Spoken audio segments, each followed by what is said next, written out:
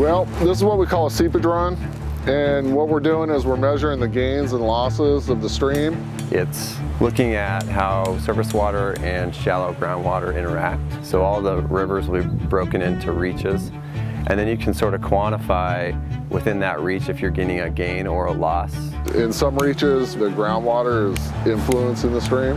In other reaches, we'll have the stream actually recharging the aquifer. So this is the first stage of the basin study that Oregon Water Resources Department, Department of Ecology, and the USGS are starting. That surface water and groundwater interaction piece is important because that can tell us how different drivers like agricultural use and municipal uses may be impacting the groundwater levels over time. So if potentially a groundwater user was pulling water from a shallow well, which is in the alluvial aquifer, that could impact a surface water user or vice versa, right?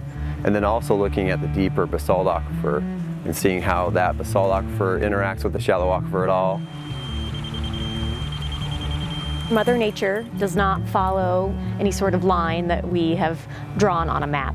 Oregon has done a lot of work on the Oregon side, Washington has done quite a bit of work on the Washington side, but now it's time for us to really come together and manage the basin in a way that's whole it makes a lot of sense to do this at a basin scale instead of at a state boundary line.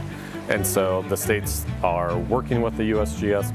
They will write a report when the basin study is over, cataloging their findings, and then it's up to both states to decide what to do with that information and how that may shape our, our management of the resources moving forward. The USGS has a history of uh, collecting unbiased scientific data that local and state federal agencies appreciate. For policymakers uh, and, and regulators, having a solid foundation of science and potentially a groundwater model is going to help us make better decisions in the Walla Walla Basin.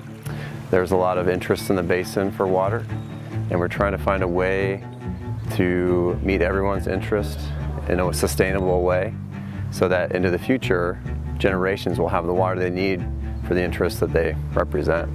Whether it's a homeowner or a landowner or an irrigator from shallow aquifers on the Oregon side or a deep basalt groundwater well on the Washington side, we need to have everyone at the table sharing what it is they want to see in the future for their watershed so that we can make a plan that hits all the targets and meets all the goals for fish farms and for people.